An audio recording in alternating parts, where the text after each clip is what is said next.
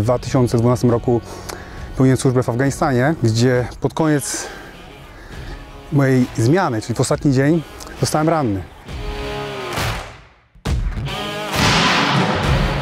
Invictus Games otworzył mi pewne drzwi. Dzięki temu dostałem się do kadry narodowej siatkówki na siedząco. W tamtym roku wystartowałem w Mistrzostwach Europy i w Srebrnej Lidze. Moim marzeniem jest wystąpić na Paralimpiadzie.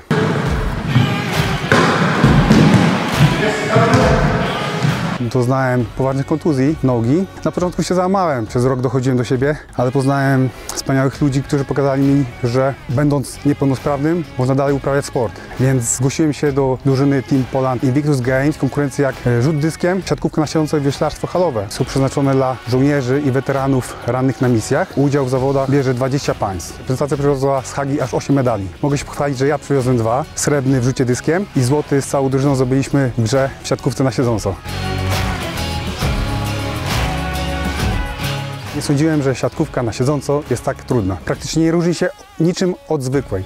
Gra tam się w sześciu, jest druga linia. Invictus Games zapoczątkował książę Harry. I za każdym razem, kiedy się spotkaliśmy, któreś z moich dzieci spało na mnie i to go rozweseliło. I przed moim startem w wioślarstwie halowym poszliśmy, chwilę porozmawialiśmy, zrobiliśmy zdjęcie i będzie to pamiątka na całe życie.